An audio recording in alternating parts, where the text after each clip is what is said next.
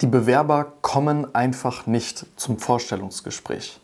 Die rufen auch nicht an, die sagen auch nicht ab und egal wie oft man es versucht, erreichbar sind sie danach auch nicht mehr. Das ist eine Sache, die ich in jüngster Vergangenheit oft von Praxisinhabern gehört habe.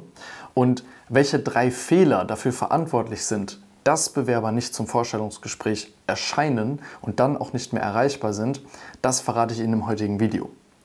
Mein Name ist Leo McGuire. Gemeinsam mit meinem elfköpfigen Team unterstütze ich über 200 Zahn- und Facharztpraxen deutschlandweit beim Thema Mitarbeitergewinnung und wir haben schon für über 700 nachhaltige Stellenbesetzungen gesorgt.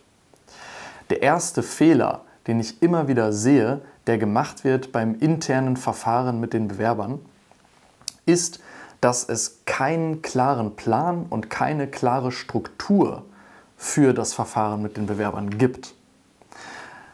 Was sehr wichtig ist als Erkenntnis, wenn man einen Prozess oder eine Vorgehensweise optimieren möchte, ist, dass dafür erstmal eine Vorgehensweise definiert sein muss. Viele Praxisinhaber und auch Praxismanagerinnen rufen Bewerber einfach nach Gefühl an, führen irgendwie das Gespräch.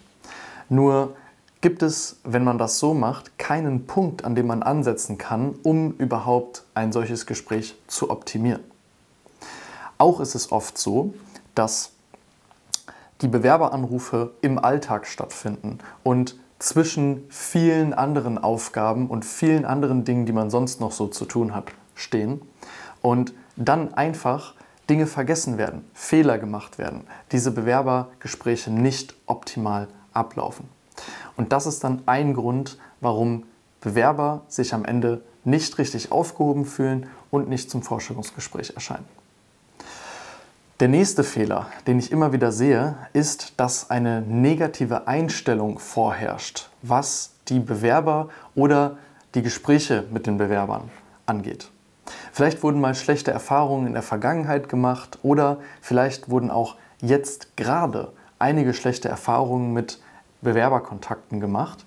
Und was ich Ihnen sagen kann, ist, dass eine negative Einstellung in irgendeiner Form vom Bewerber, mit dem Sie sprechen, sofort bemerkt wird. Das schwingt einfach durch, das fühlt die Person, wie Sie selber eingestellt sind gegenüber diesem Gespräch oder dieser Person gerade. Und wenn eigentlich innerlich eine negative Einstellung bei Ihnen vorherrscht, oder bei Ihrer Praxismanagerin oder bei der Person bei Ihnen aus der Verwaltung, dann bemerkt der Bewerber das sofort und führt vielleicht auch unter guter Miene das Gespräch mit Ihnen weiter, hat sie aber als Option eigentlich schon längst aussortiert. Der dritte Fehler, den ich immer wieder sehe, ist das fehlende Interesse und das fehlende Verständnis für den Bewerber. Warum möchte die Person denn bei Ihnen arbeiten? Oft wird einfach nur das Abfragen von Qualifikationen gemacht und dann etwas über die Praxis erzählt und dann einfach einen Termin vereinbart. Oder noch schlimmer, es wird einfach angerufen und einfach einen Termin vereinbart. Das kann ja so gar nicht funktionieren, weil der Bewerber weiß vielleicht selber auch gar nicht, warum er ganz sicher zu Ihnen kommen sollte und nicht irgendwo anders hin. Und Sie wissen auch gar nicht, ob diese Person überhaupt passt. Das bedeutet, das hat gleich zwei Nachteile. Wenn Sie einen dieser Fehler gerade machen, dann sorgt das allerhöchstwahrscheinlich dafür, dass sich der Erfolg mit den Bewerbern, die Sie vielleicht sogar haben, einfach nicht einstellt.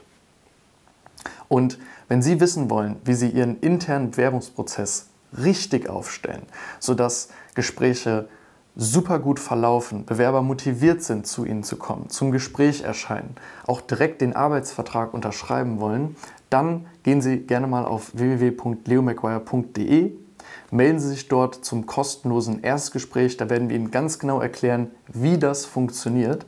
Und wenn Sie auch generell passende Mitarbeiter für Ihre Praxis gewinnen können, dann machen Sie das Gleiche, melden Sie sich bei uns und wir werden Ihnen dazu mehr sagen. Ich wünsche Ihnen viel Erfolg mit diesen Tipps und viel Spaß mit den weiteren Videos.